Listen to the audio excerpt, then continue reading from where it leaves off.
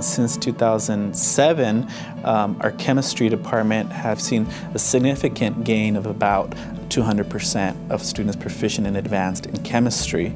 And it's attributed to uh, one component is, is the, the active chemistry. Some of our achievements, um, $11 million worth of merit-based scholarships, and so based on merit, not on financial need. Our students go to all the colleges and universities around the world. Last year we received um, seven students the Gates Millennium Scholarships, and that's the most that they've had in the state coming from one school. That makes sense because then the powder we can kind of make sure it stays on one side, but a liquid, if we, we pour it in, the reaction might just happen.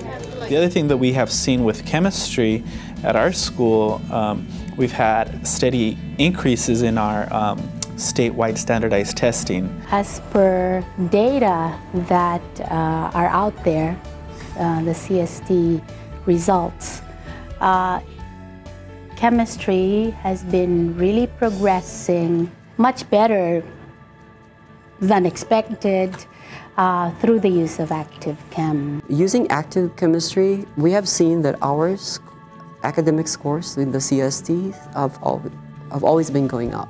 Since we've had active chemistry, we've seen a 25 to 30 point jump in the last uh, three to four years. So we have make, made strides, and I do believe that's because of the active chemistry. After five minutes class, I'd like you to share what you saw.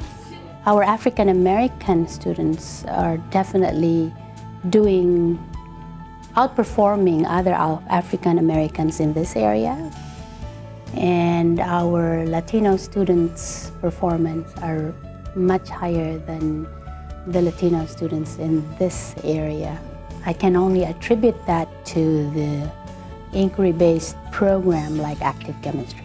I feel like we were being scientists. I, I felt like if we were if we had on the white coats, we would have been top-notch scientists, like PhD scientists. So I felt special.